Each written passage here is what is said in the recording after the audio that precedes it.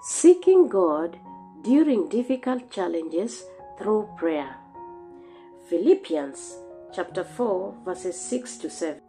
Maureen uniquely favored a Christian based channel mainly bringing you testimonies, sermons, and other Christian trending news. Do not be anxious about anything, but in every situation, by prayer and petition, with thanksgiving, present your request to God.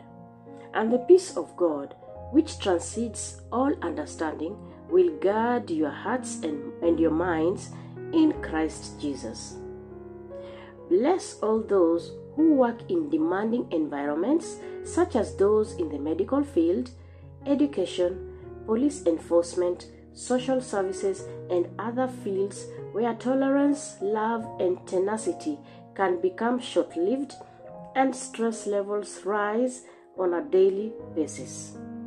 Ensure their safety and well being and provide them with the tools they need to pursue their careers even in the most trying circumstances and give them rest when the day is over. In the darkest hours, when the clouds roll in and the weight we feel seems unfathomable, remind us of your love, bearing so much on that cross and welcoming the world with open arms so that we can experience freedom from the bonds that currently bind us. Lead us to your light, absolve us of our sins, and provide hope where there is despair. Lord, when times are hard, give us the courage and serenity to know that you are always with us in the light and in the dark, never far away from us, even as your arms reach out to embrace us.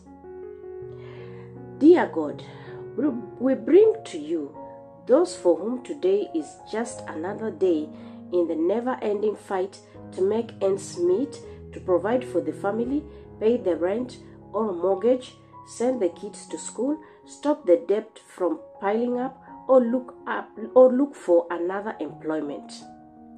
Join them in the decisions that need to be taken right now. Give them the assistance they so desperately need to dispel their dark their darkness and then shower them with your love.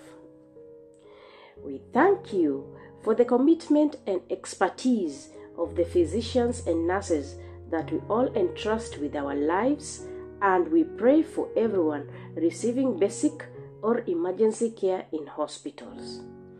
Bless their efforts, protect them, and grant that everyone undergoing care will be reunited with their broken and injured bodies. We pray to the God of life and love. We are grateful for everyone who works in our hospitals, phys- physicians, nurses, and other staff members who collectively give their all, frequently under trying circumstances, to lend to the ill and injured. We are extremely appreciative of their abilities, gifts, and calling. God of love and grace, we pray that He would provide them discernment, fortitude, and love as they navigate the many tough choices they will face today. We offer prayers for the numerous families that are currently facing hardships due to illness, unemployment, debt accumulation, and worry. May we be there for our neighbors, both locally and abroad, who need a helping hand or a shoulder to cry on. That, that way, as a community, we may all work together to spread your love in word and deed to the glory of your loving God. Dear God, we pray for everyone who is experiencing bodily or mental distress due to life stressors, especially in situations when relationships are strained or ending, violence and abuse occur. Be there for victims in their hour of need, shielding them from additional harm, and may the resentment that exist in the house wither and perish.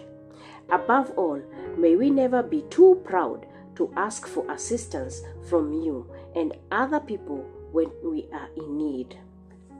Kind God, extend your hand to those who, for whatever reason, are finding it difficult to get by today. Their struggles affect not only their lives but also the lives of their friends, family, and co workers.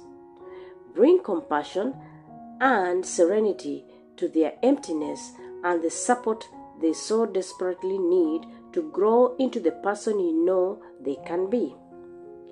Lord, give us the strength to persevere through difficult times and the trust that our problems will eventually end.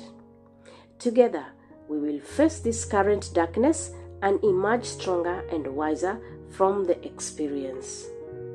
Lord, I feel like I have a lot of sadness in my soul.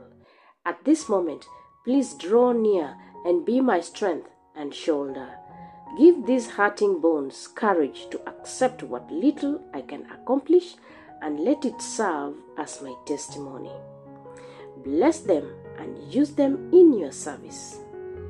Give me the kind of faith that can move mountains like a mustard seed sowed with confidence that it will bear fruit.